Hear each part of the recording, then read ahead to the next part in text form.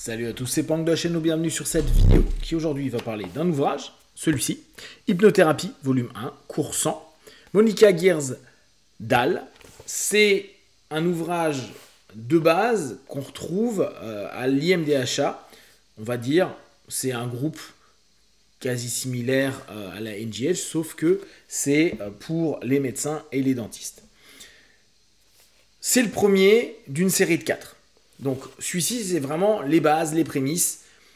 Pour ceux qui connaissent un peu l'hypnose, vous verrez des choses que vous avez déjà lues et étudiées. Pour ceux qui ne connaissent pas, je trouve que c'est un excellent ouvrage pour comprendre les théories et euh, capter comment ça fonctionne, aussi bien du pré-talk, au pré-test, aux inductions, aux suggestions, etc. etc. L'intérêt est à venir, c'est-à-dire le volume 2, 3 et 4, qui vont être beaucoup plus spécifiques. Euh, il y aura notamment de l'hypnoanalyse, euh, va y avoir un peu d'hypnose spirituelle. Alors, il faut bien se rendre compte que euh, Monica Gears, Dahl, est pas forcément connue en France, comme beaucoup de, d'hypnotistes anglo-saxons et américains. Et pourtant, c'est certainement une des hypnotistes les plus populaires aux États-Unis et surtout, c'est une référence, mais une méga référence. Elle a été élève de Jerry Kine dans les années 80. Elle a été euh, élève de Gil Boyne. Elle a été élève, et ça c'est intéressant, de Irene Hickman, donc, qui est énormément basée sur l'hypnose spirituelle. Elle a travaillé euh, euh, tout, ce qui a un rapport avec Devilman. Et elle a rencontré Hormone McGill, Charles Tebet. Bref, c'est quelqu'un qui, en gros, s'est entraîné avec les meilleurs hypnotistes américains euh, du XXe siècle. Et elle est devenue dès lors une référence, elle connaît aussi bien l'hypnose directe que l'hypnose indirecte, que l'hypnose spirituelle. Donc c'est vraiment quelqu'un d'hyper euh, complète dans sa façon d'aborder l'hypnose. À noter qu'elle a commencé son cheminement dans l'hypnose avec José Silva de la méthode Silva. Donc il y a vraiment un croisement de plein de choses qui fait que bah, quand on lit son ouvrage et euh, quand on voit son travail, on se rend compte que on a affaire à une passionnée, on a affaire à quelqu'un qui s'y connaît très bien, qui connaît les différentes tendances, qui n'est pas fermé sur une façon de faire, qui a développé sa manière de percevoir l'hypnose, et c'est vraiment intéressant. Cet ouvrage-là, donc comme je vous disais, il est basique, et il est euh, pour ça très bien pour des néophytes. Vous pouvez bien sûr l'avoir sur Amazon, je vous mettrai le lien en copie. C'est Brice qui a traduit, donc euh, la traduction est vraiment sympa, euh, c'est facile à lire, vous pouvez le lire d'un coup, vous pouvez lire en fonction de vos besoins. J'aime bien parce qu'elle revient sur certains, sur certains éléments, j'en ai juste surligné quelques-uns, mais je trouve que c'est cool. Elle parle beaucoup de l'hypnose et de la relaxation, mais elle, précise bien que l'hypnose n'est pas que de la relaxation, c'est une façon d'aborder l'hypnose. Donc, toute hypnose est auto-hypnose. Euh, vous, vous, vous allez retrouver donc beaucoup d'aspects que je trouve intéressants. Hop, on va reprendre l'index. Donc, qu'est-ce que l'hypnose Les origines de l'hypnose, les signes de l'hypnose, conscient, subconscient, super conscient, la nature de la suggestion, les tests de suggestibilité, la formulation des suggestions, le facteur qui influence la capacité à répondre aux suggestions, profondeur de trans et qualité de réponse, les inductions, approfondissement, émerge, identifier vos sujets, les abréactions, les drapeaux rouges, l'hypnose et la loi, lexique en hypnose, lecture recommandée, études indépendantes, application potentielle. Donc, c'est assez complet. Elle nous parle aussi bien bah, euh, euh, de, la vision de Devilman, de Milton Erickson, d'Irene Hickman. Euh, elle donne plein, plein, plein de, petits tips et de petites idées pour vous permettre d'avancer. Elle parle des sauts hypnotiques et on sait par exemple qu'en France c'est quelque chose dont on entend peu parler. C'était beaucoup Jerry Kine qui, qui, en avait parlé. Et on en parlait avec Brice. Ce qui est amusant, c'est que les premiers sauts hypnotiques, ils ont été mis en place par nos amis dentistes. Hum, on vous les dentistes. Euh, et c'est les premiers, euh, les premiers à l'avoir utilisé apparemment. Donc c'est assez amusant. Merci à Brice dans toutes ses recherches. Hein. Ça reste pour moi le gros historien de l'histoire en France. Bien sûr, il y en a d'autres. Mais euh, lui, il est vraiment ultra passionné. Et en plus, étant dentiste, c'est d'autant plus amusant toute cette notion.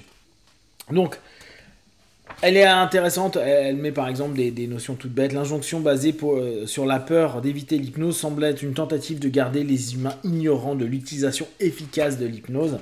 On sait très bien que bah, l'hypnose aide énormément. On a des petits rappels historiques comme euh, Benjamin Franklin qui a déclaré que les patients ne pouvaient être guéris que par leur propre imagination, exprimant ainsi l'impulsion de la médecine psychosomatique des années avant que le terme soit inventé. Vous vous souvenez, c'est quand Benjamin Franklin est allé étudier ce que faisait euh, Anton Mesmer. Donc plein de petites anecdotes, plein de petites euh, façons de penser, des, des références qui sont plutôt intéressantes pour chacun d'entre nous. Ce qui est sympa, c'est que dans l'ouvrage, il y a euh, des évaluations, donc il y a des questions qui sont posées par rapport à chaque partie du cours. On retombe sur les éléments de base, qu'est-ce que le conscient, le subconscient, etc. Euh, elle revient sur des phrases clés comme lorsque la volonté et l'imagination s'affrontent, l'imagination gagne toujours. Donc on connaît ces, principes et ces euh, logiques-là. Euh, il y a certains moments que j'ai bien aimé, un modèle d'apprentissage en trois étapes. Il faut à l'adulte moyen au moins trois expériences pour apprendre. Vous savez, cette fameuse répétition des trois. La première fois, qu'une idée est présentée, l'individu moyen la rejette comme étrangère. La deuxième fois qu'une idée est présentée, l'individu découvre une vague familiarité, soit avant, soit après avoir écarté l'idée. Et enfin, la troisième fois qu'une idée est présentée, l'individu la reconnaît comme familière et peut se rappeler les deux souvenirs précédents pour les comparer. Donc c'est pour ça que très souvent, nos suggestions, on les répète trois fois. Présentation, rappel, et après comparaison et assimilation potentielle. Euh, elle, propose des choses sympas comme par exemple le détecteur de mensonges intérieurs, un rappel au corps pour se dire quand est-ce qu'on se ment, quand est-ce qu'on est d'accord, quand est-ce qu'on n'est pas d'accord, comme si c'était un signal, sauf qu'on n'utilise pas les doigts, on n'utilise pas des signaux idéomoteurs, mais vraiment une écoute du corps sur ce qui est ok, ce qui n'est pas ok. Elle propose des petits tests à mettre en place. Euh, bien sûr, elle, revient sur énormément d'aspects, la revue post-hypnotique, euh, les suggestions éveillées, ce qu'on appelle walking hypnosis, euh, en anglais. Donc l'hypnose éveillée est obtenue lorsque, et elle donne des détails, l'esprit euh, est verrouillé autour d'une idée donnée, la suggestion est acceptable par le sujet. Beaucoup d'éléments sympas, cinq façons de programmer ou reprogrammer votre subconscient. Là, elle reprend euh, des dits de Gilboyne. la répétition, bien sûr. L'identification, je m'identifie à. L'autorité, l'émotion et l'auto-hypnose. Donc, au fur et à mesure, vous vous rappelez de choses ou vous pouvez même compléter votre façon euh, d'exploiter euh, l'hypnose. Bon, elle, explique, elle, décrit même la sémantique que vous pouvez utiliser pour certains pré-tests, Dra, etc., sur euh, les tests de balancement posturaux, par exemple, que vous connaissez certainement, mais qui est toujours intéressant à revoir et à voir comment tout à chacun peut, au travers de sa sémantique, exprimer des choses.